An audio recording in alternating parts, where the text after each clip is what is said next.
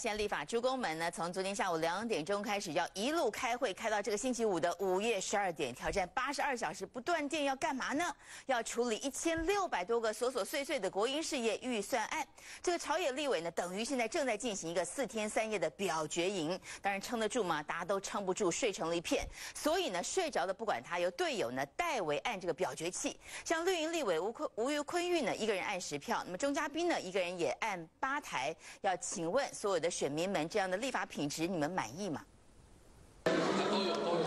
你一片我一片，人人都拿到面膜，标榜含胶原蛋白，就是因为四天三夜表决因，立委熬夜抗战，面子问题也要顾，绿营还上演会时秀。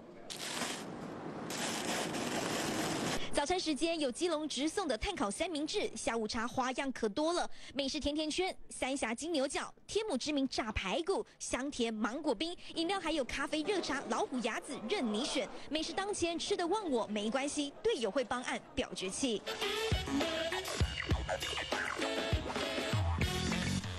好忙，一人当十人用。明明队友都坐在位置上划手机，他就不停绕圈圈巡逻，帮忙投票。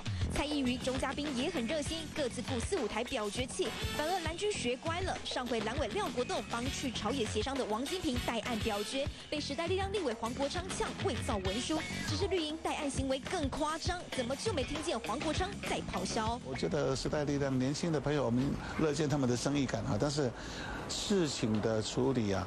啊，不要看到颜色就转弯了。呃，说穿了，它就是民进党的附属组织啦。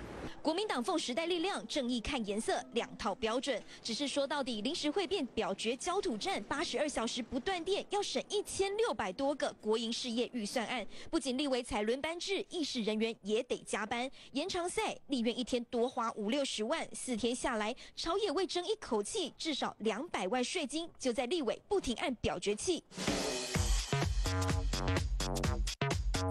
然后就没有了。记者谢军仲、邵玉敏 S N G 小组台北报道。